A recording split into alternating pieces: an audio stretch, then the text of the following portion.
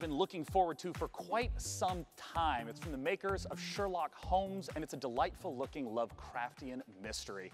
It's called The Sinking City, and joining me to talk about it is the community manager at Frogwares, Sergey Oganessian. Welcome, Sergey. Thanks for joining me today. Thank yeah, you. Yeah, you've earned a handshake. Yeah, you Welcome nailed that pronunciation. I love that you lie to me so kindly. You know, I want to ask right away, the Sinking City, you know, there's a lot of open world third person type games. What makes the Sinking City different from what a player might expect? Well, I mean, The Sinking City is an open world action investigation game inspired by Lovecraft. And we believe that these three elements already make the game pretty unique. And you know, when I say that you can be a detective in a, in a world, in a supernatural world full of mystery and, you know, cosmic fear, like, I really mean it because investigations are really at the core of The Sinking City. Yeah, I mean, I know there's a lot of games in the open world genre that are focused on action, but you say investigation is at the core. What, what are investigation mechanics? What does it look like? So the first thing you should know right off the bat is that we are not going to offer any hand-holding for the player. We will not give you any clear objectives in your diary or you know markers on the map telling you where to go or what to do. It's actually up to you to figure that out. Instead, yeah. we will give you information, you know, hints, evidence, like clues, crime scenes to examine, like people to talk to, suspects to question. And we will ask you in return to use your wits and your intuition to, you know, experiment with your findings, you know, maybe like find a way how to progress. And what you should also know is that finding these clues will not only help you understand what's going on and, you know, uh, yeah. get a better understanding of the world and its people, but it will also help you maybe change the course of your investigation. You know, you mentioned the world itself, I mean, the footage that I've seen through the years has just been absolutely beautiful. Talk to me about the world that we're in and what investigation is at the core. So the game takes place in this fictional city of Oakmont in the state of Massachusetts. You know, the city which is flooded. There is a terrible disaster going on which has claimed like thousands of lives.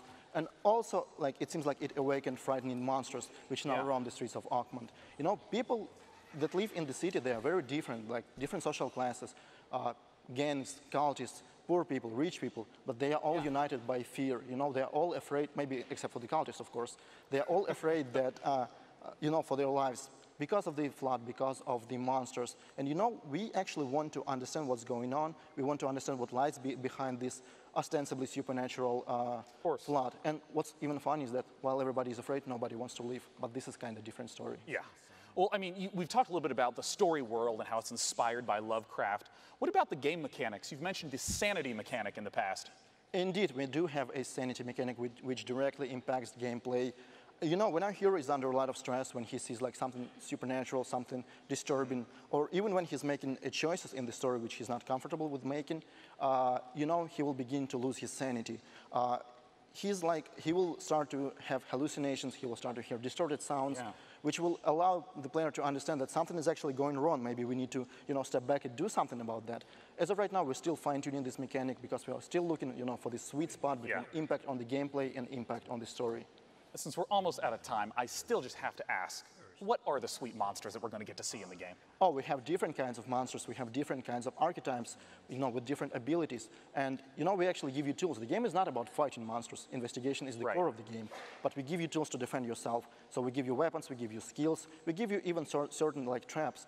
In return, we ask you that yeah. you make a decision, because the game is about making a decision.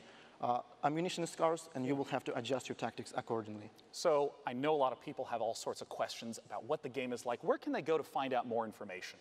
Uh, so if you're hungry for more, you can always follow us on Facebook, Twitter, and YouTube. Uh, this is where we post our updates regularly. Facebook, The Sinking City Game, YouTube, uh, Frogwares. Uh, so go there, and yeah. like this is definitely the place to go if you want to learn more. Well, I'm super excited personally to see how it turns out. Thanks for joining me.